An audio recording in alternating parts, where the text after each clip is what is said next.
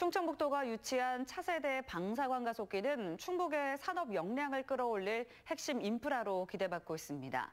하지만 간과해서는 안 될 중요한 요소가 이를 운용할 인재를 확보하는 것입니다. 이 충청북도와 도내 대학들은 어떻게 준비하고 있는지 알아봤습니다. 구준회 기자입니다.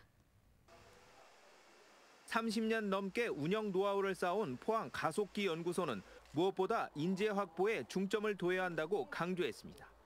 청주는 수도권과 가깝고 인근에 카이스트와 대덕 연구단지, 다수의 대학이 있는 만큼 장점을 활용해야 한다고 조언했습니다.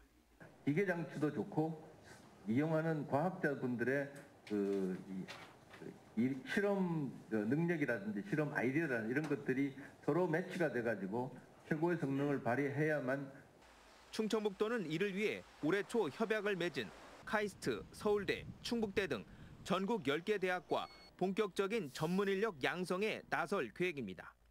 국내외 13개 연구소와 5개 외국 대학과도 교류를 추진합니다.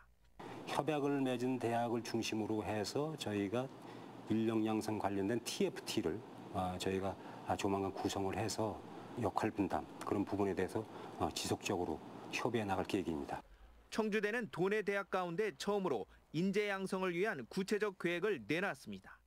우선 가속기 교육과정을 개설해 저변을 넓힌 뒤 정식 학과를 신설하고 세계적인 석학을 채용할 방침입니다. 유능한 학자를 모셔다가 이제 그런 트랙이니 또 학과 추진이니 이런 것들에 대한 총추이를 추진해 나가면 어떨까 이렇게 생각하고 있습니다.